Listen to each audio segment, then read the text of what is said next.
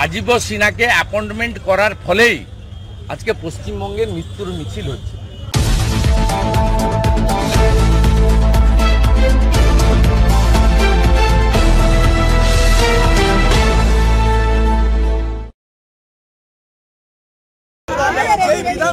দাদা দাদা একটু এগিয়ে নিন দাদা।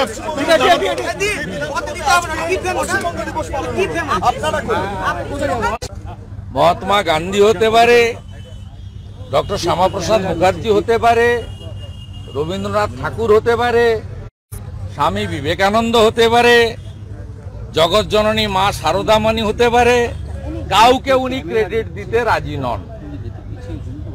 ইভিন ডক্টর বিধানচন্দ্র রায়েরও সৃষ্টিকে তিনি অস্বীকার করেন। বিশা জুন, কারণ তিনি পশ্চিমবঙ্গ একটা আলাদা দেশ বলে মনে করেন। তিনি তার হাতে যদি ক্ষমতা থাকতো, তাহলে তিনি পশ্চিমবঙ্গের জন্য আলাদা সংবিধানও বানিয়ে ফেলতেন। স্বাভাবিকভাবে লাল ব্রাহ্মণও ছিলেন। আমরা অস্বীকার করি না, কারণ ইতিহাসকে কখনো বিকৃত করা যায় না। ইতিহাসকে কখনো অপ্রাসঙ্গিক করা যায় না। ছত্রে ছত্রে এটা লেখা থাকে। তাই আজকের দিন পশ্চিমবঙ্গ দিবস পালনের মধ্য দিয়ে ভারত ভুক্তি নিশ্চিত হয়েছিল সেই কারণে আমরা একটি একটি সনাতনী গতকালকে সেটা কীভাবে? না না তিনি তো চিঠিটা জনগণের উদ্দেশ্যে লেখেননি। জনগণের উদ্দেশ্যে লিখলে আমি বিরোধী দলনেতা হিসেবে যেহেতু দু কোটি আঠাশ লক্ষ লোককে প্রতিনিধিত্ব করি আমি বলতাম চিঠিটা তিনি সম্মানীয় রাজ্যপাল ওয়ান টু ওয়ান ইন্টারভিউ দিচ্ছেন অনেক কিছু করছেন। তো স্বাভাবিকভাবে মুখ্যমন্ত্রী যাকে লিখেছেন he is the competent person to answer this মানে কোশ্চেন রাজভবনে আজকে যেভাবে পালন হলো পশ্চিমবঙ্গ দিবস সে ব্যাপারে কি বলবেন? আমরা খুশি। ধন্যবাদ জানাচ্ছি যে নিশ্চিতভাবে এটা ভালো উদ্যোগ। বিধানসভায় পালনেরও কিছু দাবি তুলবেন আপনারা? আমরা দু হাজার একুশ সাল থেকেই আমরা পালন করি। গত বছর আহ, আরও অধিক সংখ্যক বিধায়করা ছিলেন কিন্তু আজকে যেহেতু পঞ্চায়েত নির্বাচনের প্রত্যাহারের শেষ দিন আমাদের আঠারো উনিশ জন বিধায়ক মিলে আমরা করেছি।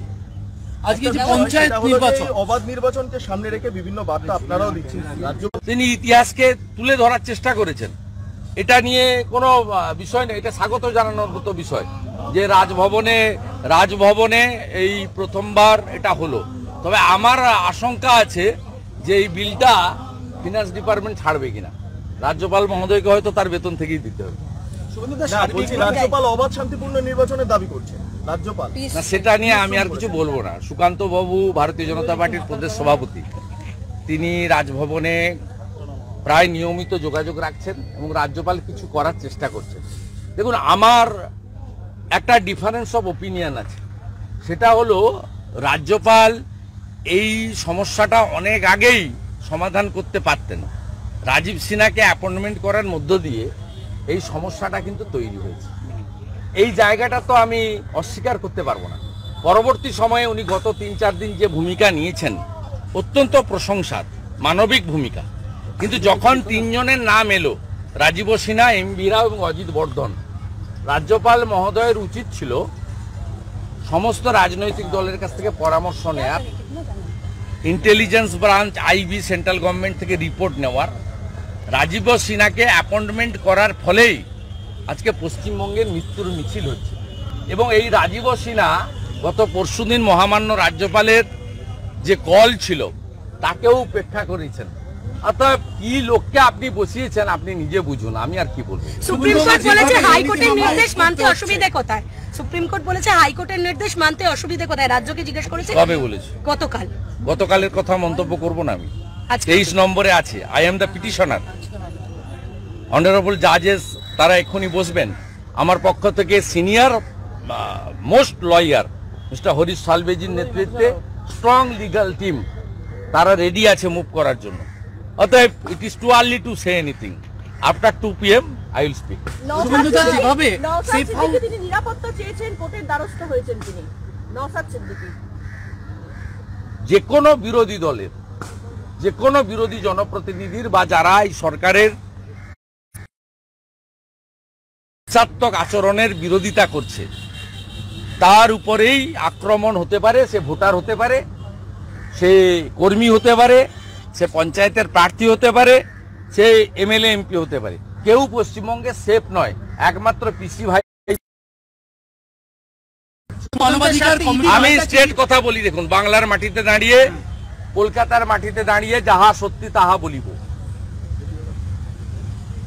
কিন্তু মানুষ এবারে প্রতিরোধও করছে।